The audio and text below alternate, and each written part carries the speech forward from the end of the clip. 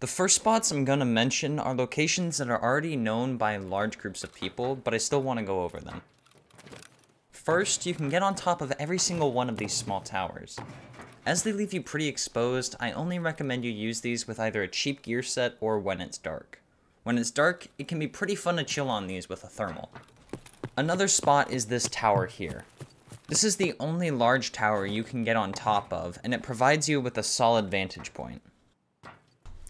To get on the tower, you're going to want to jump on these pieces of sheet metal that stand up, and to jump onto the roof, you're going to need to back up a little bit and then walk forward and then jump.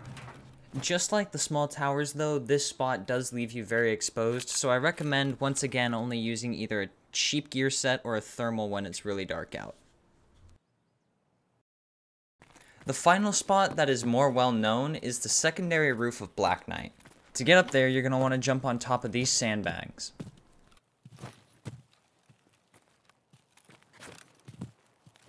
Then, you can slide under this tarp and have a solid vantage point everywhere you look. These next spots are ones that I found myself, so they shouldn't be known by as many people. First, we have the tents inside the gym in Queen Building.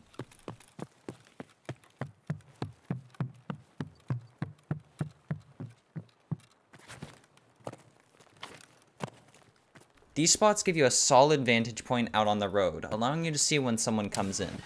Very few people look on top of the tents, so they are a good place to hide or ambush someone. The windows behind you are covered with netting, making them hard to see through.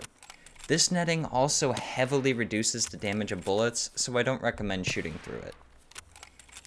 Next, we have the area on top of the garages next to White Knight. Due to the distance and height of this jump, I do highly recommend you pop a painkiller before you do it, just in case you break your legs. This area can give you a good vantage point on the road near Hermetic Switch and also the field behind you.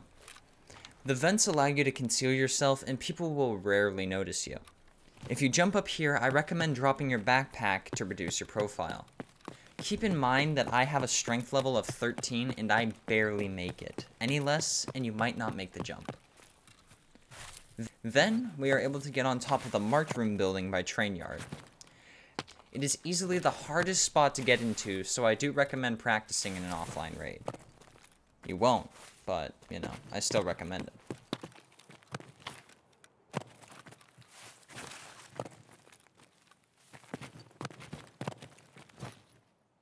This spot gives a good angle on the K buildings, the hills, and the train yard. It is also less obvious than going into the tower. Next, we have the spots in the scaffolding and train yard. To get to the scaffolding, you're going to want to run along this roof and then slide through this empty window.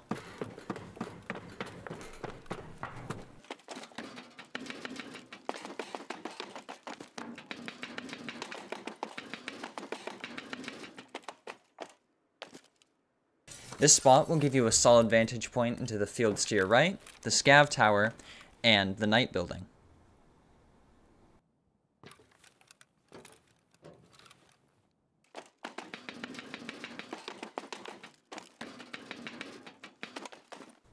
If you want to be cheeky and camp the train building, this spot gives you a good view of the common entrances as well as a good view of Marked Room and the tower outside it. It's also concealed and very few people tend to look here.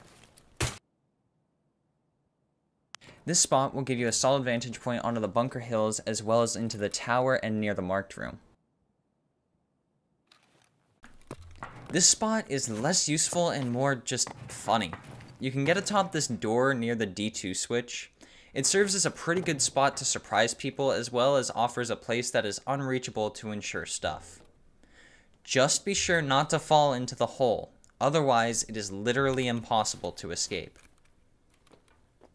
Another spot that you can hide in, or camp if you know someone is coming, is this shelf in the underground area.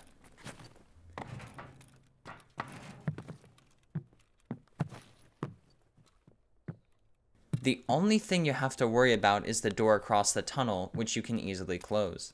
Otherwise, it gives you a nearly complete view of this underground area, and very few people will notice you because, again, why the hell would you be up there?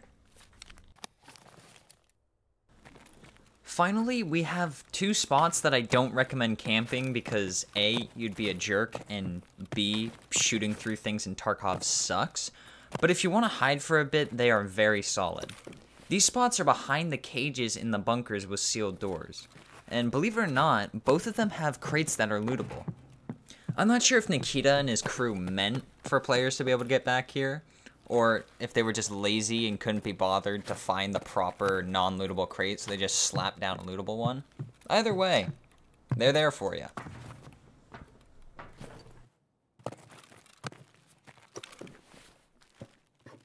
That is going to do it for this video. If you would like another video that has a bunch of good reserve spots, but also some good escape routes in the event you get trapped on the roof of a building or something, I recommend checking out the video I have in the description. If you liked this video and found some of the spots useful, please do consider leaving a like. If you enjoy my content on a regular basis, please do consider subscribing. Finally, if you would like another video like this, please leave a comment and let me know. With all that out of the way, thanks for watching, and I hope you enjoyed.